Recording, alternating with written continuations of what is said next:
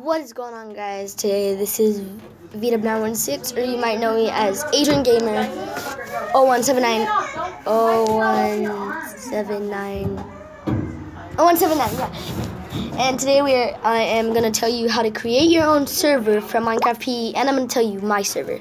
So I have my own survival server, and the ad, IP address is A two seven five four three dot L E E T Lee dot C C.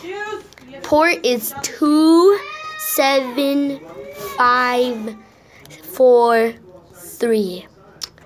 And you can do anything. So let me just open it up. Hey, can you guys come inside since Jonathan's really bad? I, I'm, still, I'm in the middle of the video, so hold on. Uh, I'm almost done. I just need to do this real quick. And so my server's right here. It's leet.cc realm. You can put any name, but that's what I put this. And it will generate the train. It always tells me when somebody's on my server. Why is it night? So it's night. And there's so many this is all survival.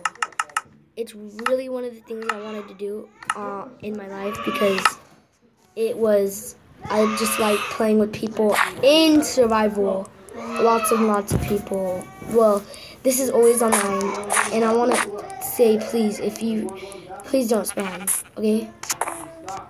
But um I'm to show you how to make your own server now. So let me exit. So the app you're to need to make your own server is Leet Servers for Minecraft. Then once you start it up, it will bring you a screen that says create your own server for Minecraft. You can name it and, and then put what it's like and put the texture and the game mode will, will start out as creative and then you can look down here. But the premium version, you'll need lots and lots of points.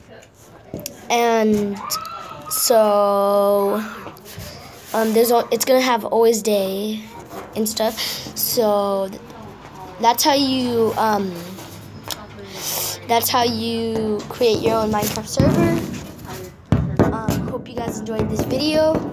Um, make sure to leave a like and subscribe, and I hope you guys will like my server in the future time.